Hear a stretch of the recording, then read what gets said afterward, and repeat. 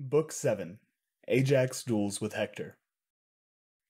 Vaunting, a flash in arms, Hector swept through the gates with his brother Paris keeping pace beside him. Both men bent on combat. On they fought like wind when a god sends down some welcome blast to sailors desperate for it. Worked to death at the polished oars, beating the heavy seas, their arms slack with the labor. So welcome that brace of men appeared to the Trojans desperate for their captains. Each one killed his man. Paris took Menesthius, one who had lived in Arne, a son of King Areithous, lord of the War Club, and his lady Philomedusa, with large, lovely eyes. Hector slashed Eioneus's throat with a sharp spear, ripped him under the helmet's hammered bronze rim. His legs collapsed in death. Quick in the jolting onset, Lycia's captain Glaucus, son of Hippolochus, skewered Dexius's son Iphinous just as he leapt behind his fast mares. He stabbed his shoulder, hard, and down from his car Iphinous crashed to earth, and his limbs went slack with death. Rampaging Trojans. Yes, but as soon as fiery eyed Athena marked them killing Argive ranks in this all out assault, down she rushed from the peaks of Mount Olympus, straight for sacred Troy. But Phoebus Apollo, spotting her from Pergamus heights, the god grim set on victory for the Trojans, rose to intercept her. As the two came face to face beside the great oak, Lord Apollo, the son of Zeus, led off. What next? What is the mighty Zeus's daughter blazing after now? Down from Olympus, what heroics stir your heart?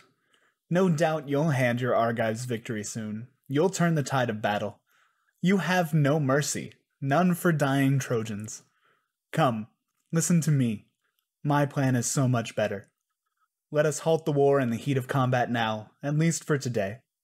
They'll fight again tomorrow until they win their way to the fixed doom of Troy, since that is your only passion, you two goddesses to plunder Troy to rubble.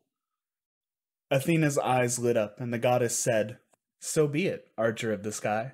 Those were my very thoughts, winging down from Olympus into the midst of Trojans and Achaeans.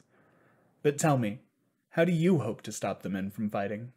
Hector, Lord Apollo, the son of Zeus, replied. We'll spur his nerve and strength, that breaker of horses. See if he'll challenge one of the Argives man to man, and they will duel in bloody combat to the death. Achaeans armed in bronze will thrill to his call. They'll put up a man to battle shining Hector. So Apollo staged the action. Her eyes afire, the goddess Pallas did not resist a moment. She flashed the word in Helenus' mantic spirit. The son of Priam sensed what pleased the immortals, hatching instant plans, and coming up to Hector advised him quickly. Hector, son of Priam, a mastermind like Zeus, listen to me now. Let your brother guide you. Have all Trojans and Argives take their seats, and you, you challenge Achaea's bravest man to duel in bloody combat to the death. It's not the hour to meet your doom, not yet. I heard a voice of the gods who live forever. When Hector heard that challenge, he rejoiced, and right in the no man's land along his lines he strode, gripping his spear mid haft, staving men to a standstill while Agamemnon seated his Argives geared for combat. And Apollo, lord of the silver bow, and Queen Athena, for all the world like carrion birds, like vultures, slowly settled atop the broad, towering oak sacred to Zeus, whose battle shield is thunder, relishing those men. Wave on wave of them settling, close ranks shuddering into a dense, bristling glitter of shields and spears and helmets. Quick as a ripple, the west wind, suddenly risen, shudders down the sea, and the deep sea swell goes dark beneath its force. So settling waves of Trojan ranks and Achaeans rippled down the plain. And Hector rose and spoke between both sides. Hear me, Trojans, Achaeans geared for combat. I'll speak out what the heart inside me urges. Our oaths, our sworn truce. Zeus, the son of Cronus, throned in the clouds, has brought them all to nothing, and all the Father decrees is death for both sides at once. Until you Argives seize the well built towers of Troy, or you yourselves are crushed against your ships.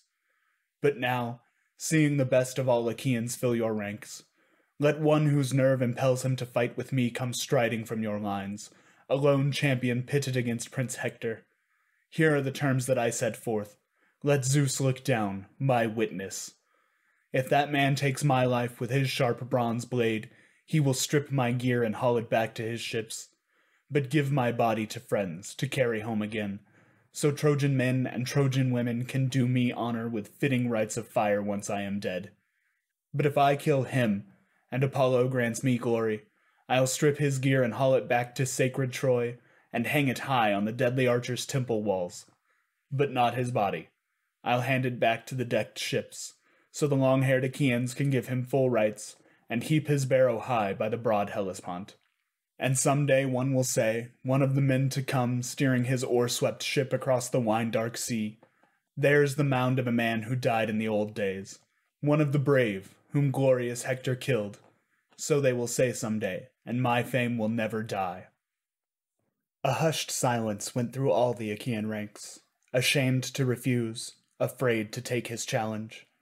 But at long last Menelaus leapt up and spoke, lashing out at them, groaning, heartsick. Oh no! Your threats, your bluster, women, not men of Achaea. What disgrace it will be!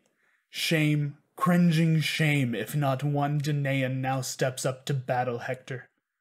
You can all turn to earth and water, rot away. Look at each of you, sitting there, lifeless, lust for glory gone. I'll harness up, I'll fight the man myself. The gods on high, they hold the ropes of victory in their hands. With that, he began to don his handsome gear. And then and there, Menelaus, the death stroke would have blazed before your eyes, dead at the hands of Hector, a far stronger man if Argive kings had not leapt up and caught you. And Atreus' son himself, powerful Agamemnon, seized your right hand, shouting out your name. You're mad, my prince. No need for such an outburst. Get a grip on yourself, distraught as you are. Just for the sake of rivalry, soldier's pride, don't rush to fight with a better man, with Hector the son of Priam. Many others shrink before him. Even Achilles dreads to pit himself against him out on the battle lines where men win glory. Achilles, far and away a stronger man than you. Go back. Sit down with the comrades you command. We'll put up another champion to go against this Hector. Fearless is he, and never sated with fighting? He'll gladly sink to a knee and rest, I'd say, if the man comes through alive from the fight he begs for, dueling to the death. Again the Iron Warrior brought his brother round. Good counsel, fitting, too. Menelaus yielded at once. His aides, elated, lifted the armor off his shoulders, and then Lord Nestor rose and spoke among the men. No more, or enormous sorrow comes to all Achaea. How he would groan at this, the old horseman Peleus, that fine speaker, the Myrmidons' famed commander. How he rejoiced that day, questioning me in his halls, when he learned the blood and birth of all the Argives. Now if he heard how all cringe in the face of Hector, time and again he'd stretch his hands to the gods and pray that life breath would quit his limbs and sink to the house of death. Oh, if only, Father Zeus, Athena, Apollo, I were young again. Fresh as the day we fought by Celadon's rapids, our Pylians and platoons against Arcadian spearmen under Pheia's ramparts, round the Iardanus's banks, when Arcadia's champion Ereuthalion strode forth, a man like a god for power, his shoulders decked with King Areithous's armor, massive Areithous, the great war club, so they called that hulk, his men at arms and their sashed and lovely women. He would never fight with a bow or long spear. No, with his giant iron club he'd break battalions open. That monster. Lycurgus cut him down by stealth, not force at all. On a footpath so cramped his iron club was useless fending off his death. There, before he could heft it, a sudden lunge and Lycurgus's spear had run him through the guts. Flat on his back he went, slamming against the ground, and his killer stripped the armor brazen Ares gave him. He donned it himself for years of grueling war. But then, when Lycurgus grew too old in his halls, he passed it on to a favorite henchman, Ereuthalion, and sporting that gear, he challenged all our best. And they, they shook from head to foot, terrified, none with the nerve to face him then. Only I, my hardened courage drove me to fight the man in a hot burst of daring, and I the youngest trooper of us all. I took him on, and Athena gave me glory, by heaven, Ereuthalion was the biggest, strongest man I ever killed, the huge lumbering sprawl of him stretching far and wide. Oh, make me young again, and the strength inside me steady as a rock. Hector with that flashing helmet would meet his match in combat in a moment. You, the bravest of all Achaeans, and not one with the spine to battle Hector face to face. The old man's taunts brought nine men to their feet. First by far Agamemnon, lord of men, sprang up, and following him Tydides, powerful Diomedes. Next the great and little Ajax armed in fury. Idomeneus after them, and Idomeneus's good aide Meriones, a match for the butcher god of war. Eurypylus after them, Euaemon's gallant son. Thoas, son of Andremon, Odysseus out for exploit. All were roused to go up against Prince Hector. Once more the fine old horseman gave commands. Now shake the lots for all, the first to the last man, we'll see who wins. He's the one to do his Achaean comrades proud. Do himself proud too, if he comes through alive from the fight that waits him, dueling to the death. And each soldier scratched his mark on a stone, and threw it into Atrides Agamemnon's helmet. Fighters prayed. Stretching hands to the gods, a man would murmur, scanning the wide sky. Father Zeus, let Ajax win, or Tydeus' son, or the proud king himself of all Mycenae's gold. So they prayed as the old horseman shook the lots, and one leapt from the helmet, the one they wanted most. Great Ajax's lot it was. And the herald took it round through all the ranks, left to right for luck, and showed it to all Achaea's bravest men. None of them knew it, each denied the mark. But once he'd passed it round, and reached the man who had scratched the stone and thrown it in the helmet, Ajax, bent on glory. Out went his hand to take it, the herald pausing beside him dropped it in, and Ajax knew his mark, and thrilled to see it, flung it down at his feet and shouted, Friends, the lot is mine, and it fills my heart with joy. I know I can overpower this dazzling Hector. But come, while I strap my battle armor on, all of you pray to Cronus' son, almighty Zeus. Pray to yourselves in silence, so Trojans cannot hear. No, pray out loud, no one at all to fear. No one can rout me, his will against my will. Not by force, God knows, and not by a sly maneuver either. I'm not such a raw recruit, I like to think, born and bred on Salamis. So great Ajax vaunted, and men prayed out to the son of Cronus, King Zeus. They'd call out, scanning the wide sky, Father Zeus, ruling over us all from Ida, God of greatness, glory. Now let Ajax take this victory, shining triumph. But if you love Hector, if you hold him dear, at least give both men equal strength and glory. So they prayed as Ajax harnessed himself in burnished, gleaming bronze, and once he had strapped his legs and chest in armor, out he marched like the giant god of battle wading into the wars of men, when Zeus drives them hard to clash and soldier on with heart devouring hate.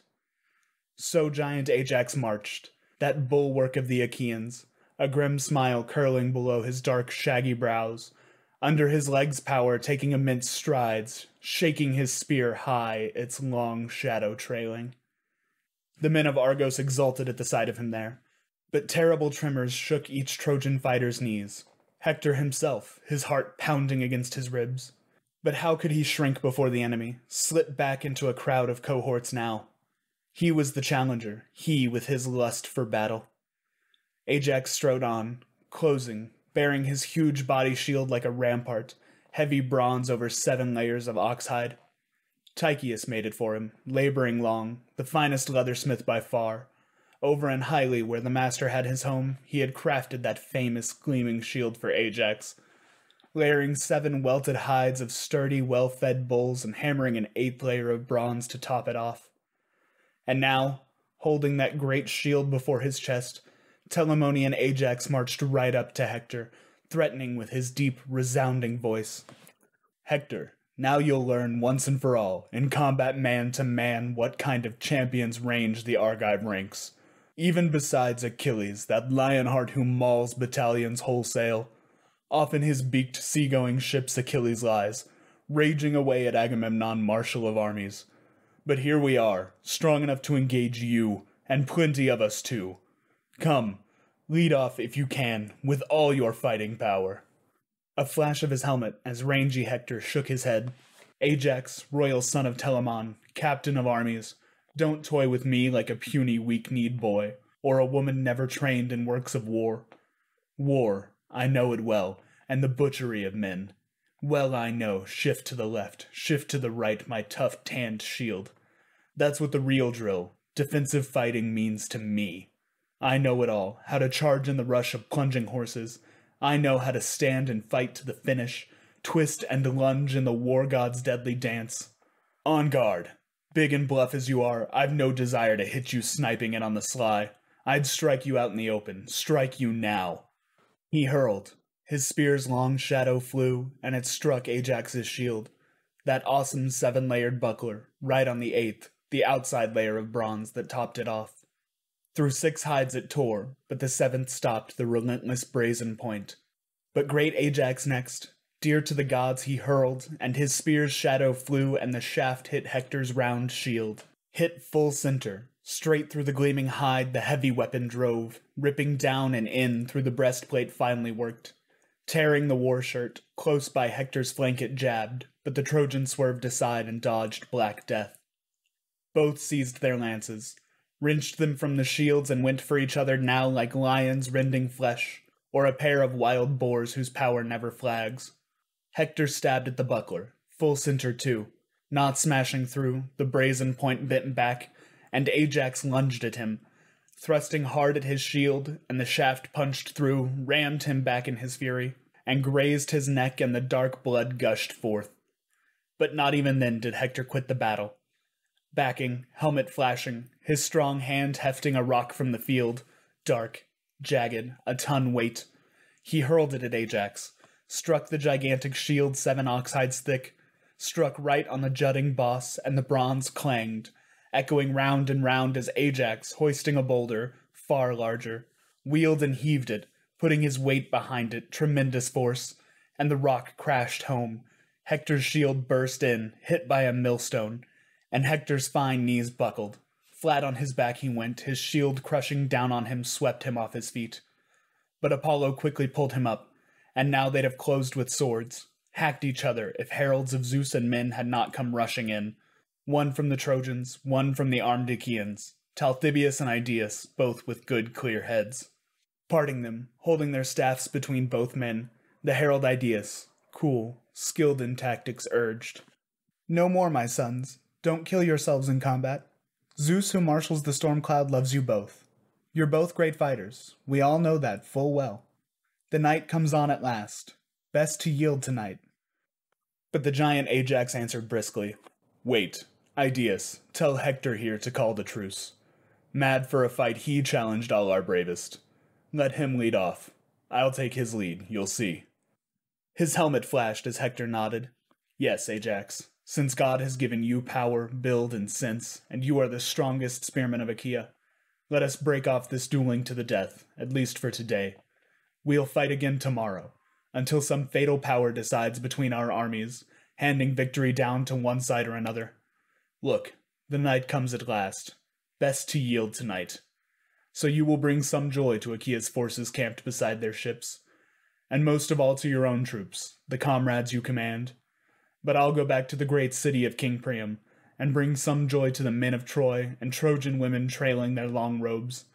Thankful for my return, they'll go to meet the gods and sing their praises. Come, let us give each other gifts, unforgettable gifts, so any man may say, Trojan soldier or Argive. First they fought with heart devouring hatred, then they parted, bound by pacts of friendship.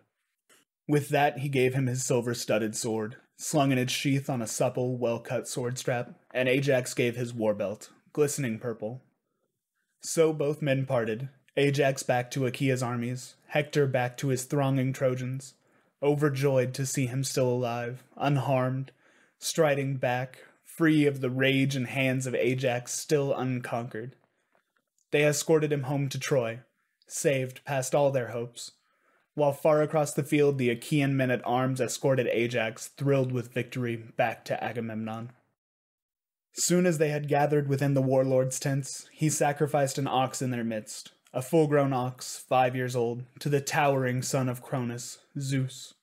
They skinned the animal quickly, butchered the carcass, expertly cut the meat into pieces, pierced them with spits, roasted them to a turn, and pulled them off the fire.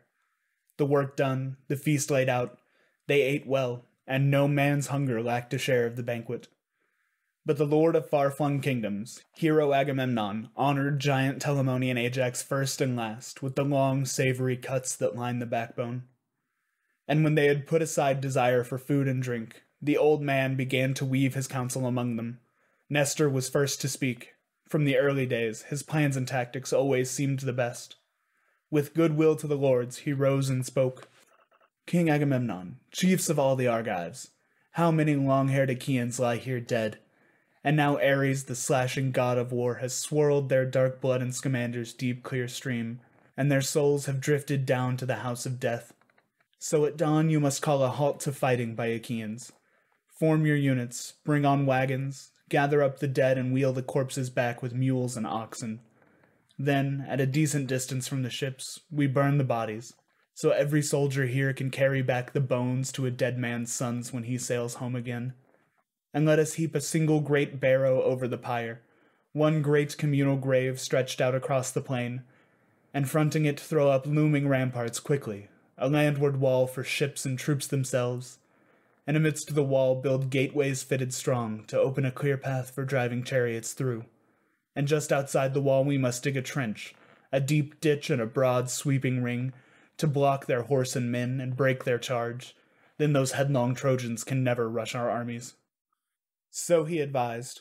All the warlords sounded their assent, and now the Trojans collected high on the crest of Troy. They were shaken, distracted men at Priam's gates, but the clear headed Antenor opened up among them. Hear me, Trojans, Dardans, all our loyal allies. I must speak out what the heart inside me urges. On with it. Give Argive Helen and all her treasures back to Atreus' sons to take away at last.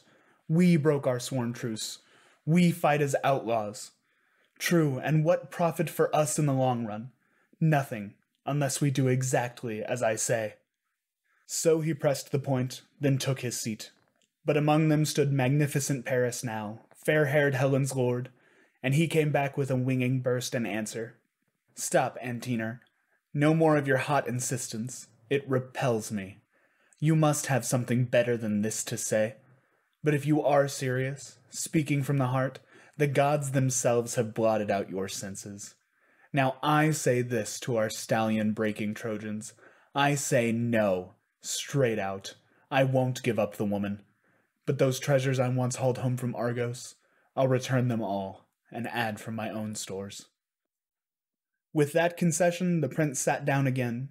Then Priam the son of Dardanus rose among them, a man who could match the gods for strong advice, and with goodwill toward all he swayed his people. Hear me, Trojans, Dardans, all our loyal allies. I must speak out what the heart inside me urges. Now take your evening meal throughout the city, just as you always have, and stand your watches, each man wide awake. And then, at first light, let the herald Idaeus go to the beaked ships and tell the Atridae, Agamemnon and Menelaus, the offer of Paris who caused our long hard campaign. Let Idaeus add this too, a good sound proposal. See if they are willing to halt the brutal war until we can burn the bodies of our dead. We'll fight again tomorrow, until some fatal power decides between us both, handing victory down to our side or the other. His people hung on his words, and all obeyed the king. They took their meal by ranks throughout the army. At first light, Idaeus went to the beaked ships, and out on the meeting grounds he found the Argives, veterans close by the stern of Agamemnon's ship. Taking his stand, right in the milling troops, the herald called out in a high, firm voice Son of Atreus, captains of all Achaeans, Priam and noble Trojans command me to report, if it proves acceptable, pleasing to one and all, the offer of Paris, who caused our long, hard campaign. All the treasures that filled his hollow ships and the prince hauled home to Troy, would to God that he'd drowned before that day. He'll return them all and add from his own stores. But the lawful wife of Menelaus, renowned Menelaus, he will not give her up, Paris makes that clear, though all Troy commands him to do precisely that. They tell me to add this too, a good sound proposal, if you are willing, Come, we'll halt the brutal war until we can burn the bodies of our dead. We'll fight again tomorrow until some fatal power decides between us both, handing victory down to one side or the other. So he spoke, and a hushed silence went through all the ranks. Finally, Diomedes, lord of the war cry, shouted out, No one touched the treasures of Paris. Helen either. It's obvious. Any fool can see it. Now at last the neck of Troy's in the noose. Her doom is sealed. All the Achaean soldiers roared out their assent, stirred by the stallion breaking lord's reply, and King Agamemnon rounded on Idaeus. There, there's the Achaeans' answer, Idaeus, a declaration you can hear for yourself. It is my pleasure, too. But about the dead, I'd never grudge their burning. No holding back for the bodies of the fallen. Once they are gone, let fire soothe them quickly. That is my sworn pledge. Zeus my witness now, Hera's lord whose thunder drums the sky. With that oath, he raised his scepter high in the eyes of all the gods, and Idaeus turned, trailing back to sacred Troy. There they sat in assembly, Trojans, Dardans, all collected together, waiting long and tense for the herald to return. And home Idaeus came, delivered his message standing in their midst, and they fell to making hurried preparations, dividing the labors quickly. Two detachments, one to gather the bodies, one the timber. And far on the other side, Achaean troops came streaming out of the well benched ships, some to gather the bodies, some the timber. Just as the sun began to strike the plowlands, rising out of the deep, calm flow of the ocean river to climb the vaulting sky, the opposing armies met. And hard as it was to recognize each man, each body, with clear water they washed the clotted blood away and lifted them onto wagons, weeping warm tears. Priam forbade his people to wail aloud. In silence they piled the corpses on the pyre, their hearts breaking, burned them down to ash, and returned to sacred Troy. And just so on the other side, Achaean men at arms piled the corpses on the pyre, their hearts breaking, burned them down to ash, and returned to the hollow ships. Then, with the daybreak not quite risen into dawn, the night and day still deadlocked, round the pyre a work brigade of picked Achaeans grouped. They heaped a single great barrow over the corpse fire, one great communal grave stretched out across the plain, and fronting it threw up looming ramparts quickly, a landward wall for ships and troops themselves, and amidst the wall built gateways fitted strong to open a clear path for driving chariots through. And against the fortress, just outside the wall, the men dug an enormous trench, broad and deep, and drove sharp stakes to guard it.